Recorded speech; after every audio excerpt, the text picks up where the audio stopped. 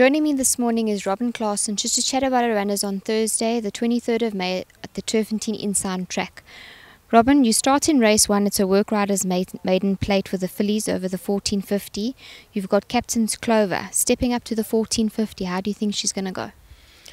Vicky, Captain's Clover disappointed me a little bit on debut. Um, after that run, I gave her quite a long rest. I let her strengthen up a bit, and um, in work, she's showing that she probably is looking for a little bit further. So I am just hoping for some improvement from her. Then in race three, it's a maiden juvenile plate for the fillies over the 1200 metres. You've got Strassend. Again, another one that was disappointing first time out. Um, she's got the wide draw to contend with. Um, also, just looking for some improvement from her. Then in race four, it's a MR80 handicap over the 1200 metres. You've got second breath. She drops in class now. I think she could be a runner in this field. Yeah, unfortunately, again, wide draw. Um, she's got a lot of weight to shoulder, um, but she is she's working really well at home and she's she's doing well within herself. So I think she could possibly run a place. Um, I'm not sure if she could win with that kind of weight.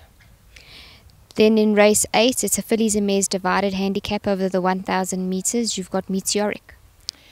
Yeah, Meteoric steps up in class. Um, she can never ever get a draw. She's always drawn wide. Um, I do believe that she prefers the 1200 to the 1000, but she's working really well at home. I'm very happy with her and possibly can run into back end of quartets. Then in race 9, you've got two runners. It's a fillies and mares 77 divided handicap over the 1000 metres.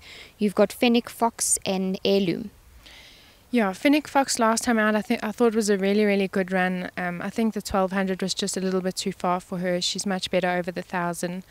Um, she's got a better draw this time, and um, yeah, I think she she could run a place. And then Heirloom, I've taken the tongue tie off. Um, I'm just hoping that she can find some of her earlier form. She does enjoy the course and, and distance, um, and her she won over it. Um, so yeah, I'm just hoping that she can find some of her earlier form. Thank you so much for your time, and I wish you all the best. Thank you.